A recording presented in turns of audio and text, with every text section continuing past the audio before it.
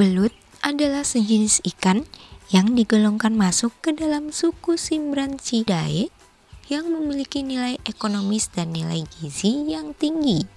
Belut biasa dinikmati dengan berbagai cara seperti digoreng, dibakar, dan dimasak asam manis atau dimasak belut goreng renyah yang biasanya dijadikan cemilan.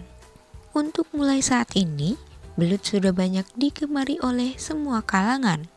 Namun ada juga yang merasa geli walau tidak banyak.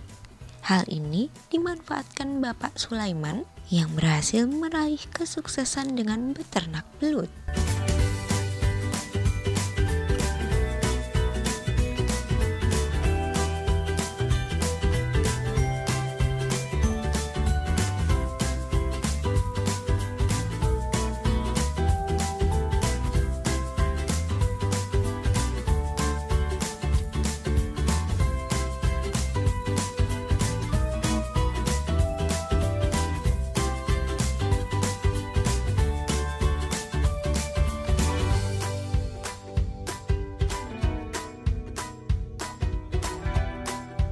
Bapak Sulaiman yang tinggal di daerah Cianjur, Sukabumi ini awalnya sempat ragu untuk memulai bisnis usaha ini.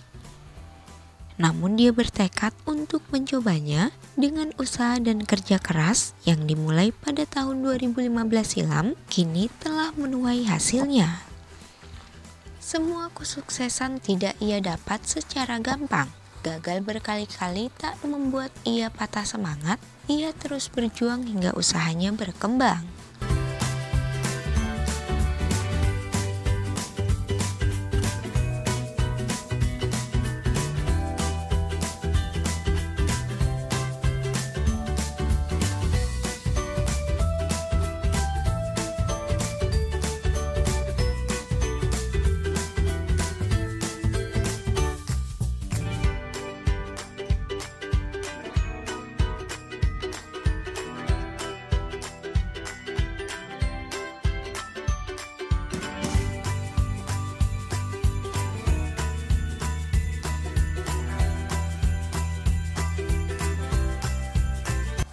Ini, ia kebanjiran pesanan hingga ia membeli belut dari peternak lainnya untuk mencukupi pesanan yang semakin meningkat. Kini ia sudah membuat produk yang banyak digemari oleh masyarakat seperti dendeng belut, abon belut, keripik belut tepung, dan keripik belut original. Produk-produk itu yang kerap ia produksi dan selalu habis ketika dipasarkan.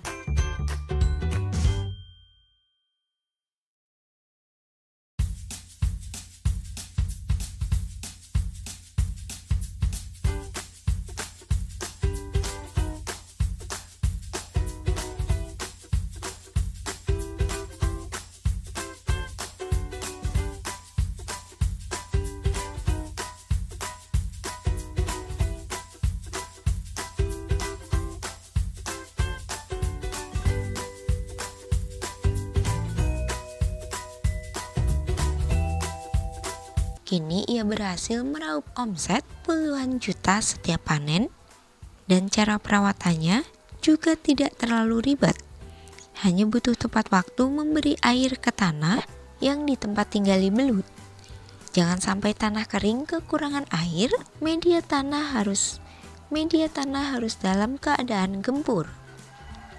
Soal pakan belut juga tidak terlalu ribet. Media tanahnya harus diberi bibit cacing yang siap berkembang biak sehingga cacing tak kekurangan asupan makanan.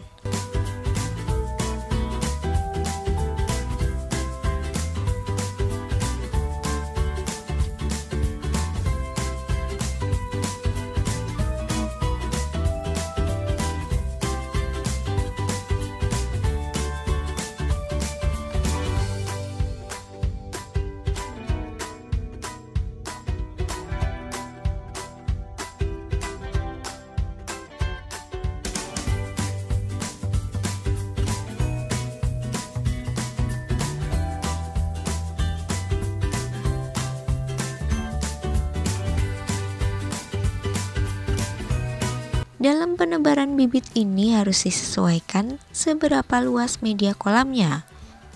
Semakin luas, semakin luas kolam, semakin banyak belut yang dibutuhkan. Bisnis belut memang menggiurkan, namun harus tetap semangat dan jangan pantang menyerah dalam menjalankan usaha. Ketika dihadapkan dengan persoalan harus mampu menghadapi. Karena itu adalah salah satu kendala dan